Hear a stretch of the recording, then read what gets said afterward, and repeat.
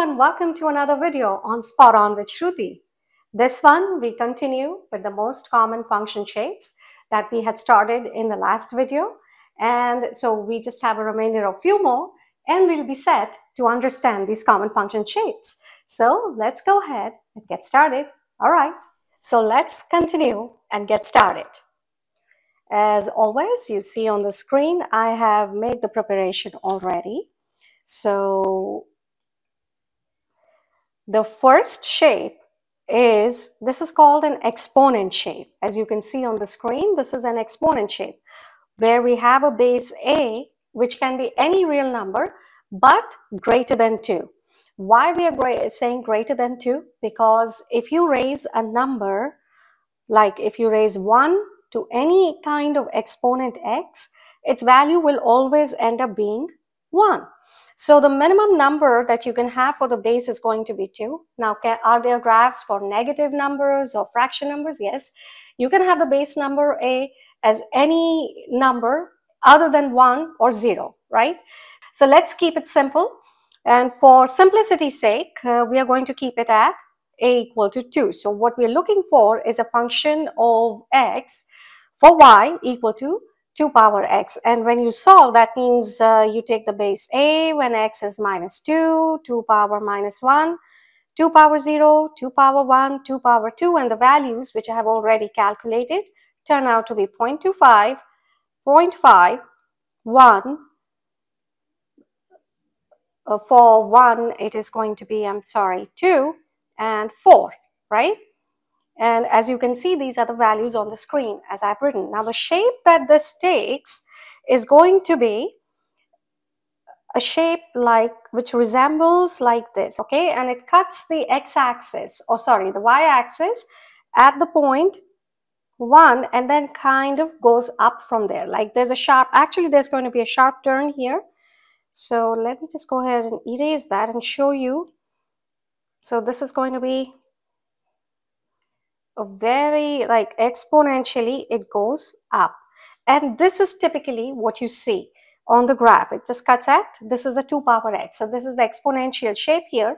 Now when we look at the negative x-axis so as the x values are below zero meaning they're in the negative direction right here you see our output for the function approaches zero. It kind of laces on top of this line. Let me choose another color here so you can see the difference that I'm talking about. So it kind of like this region right here. It keeps approaching, it glides over on top of the x-axis but never overlaps it, never touches it. So these will be the asymptote lines, which is a concept we are going to learn in forthcoming videos as well. But for now, this is the parent shape of what we call an exponential function.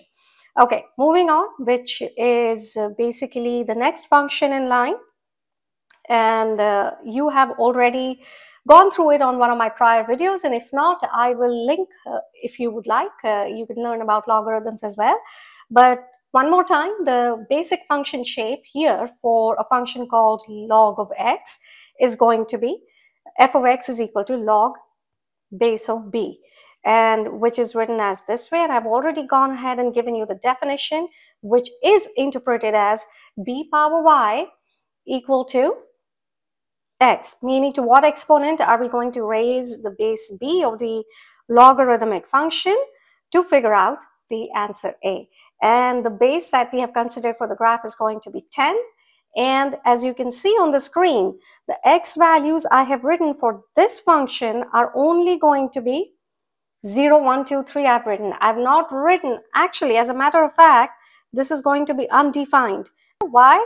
because if the your x value is 0 meaning what will you raise the base 10 to to get a 0 so that is basically going to be undefined because there is doesn't exist that kind of a number. Hence we have written undefined for 0 for 1 these are zeros. And for 2 this is going to be a 0.3010 value. For log of 3 it is going to be 0.4771 now, once again, if you would like, you can go ahead and use a calculator, key in these exact values into the calculator and you will get the same decimal answers.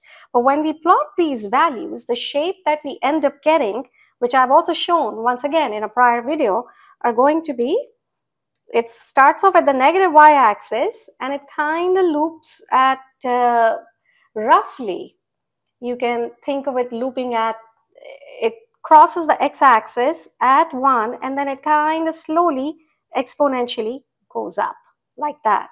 So meaning to say it will keep going up. But when we look at the y-axis, meaning as your x value is approaching 0 from, as you look at it from the right side, then uh, as you look at it from the right side, then the y values keep going down. So it exponentially drops.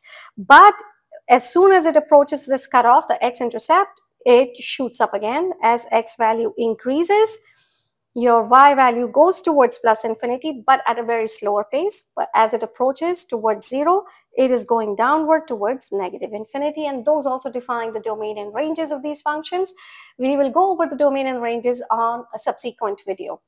All right, now the last shape that we have is going to be, it is called a reciprocal function. So let me write that down as you see, reciprocal function where we have our x, meaning the input variable x, which is nothing but the reciprocal. Now, once more time here. You see I've written a 0. What is a 1 over 0? It will give you an error message if you were to key it into your calculator. So this is going to be undefined as always. And I've already gone ahead and calculated the values. This is going to be negative 0.5. So what does that tell you? It goes in both negative and positive directions as you will see. 2 is 0.5 and if let's say x was a 3 we will get 1 over 3 which is going to be 0.333 so once we go less than zero, meaning the input is less than zero, we will have a negative.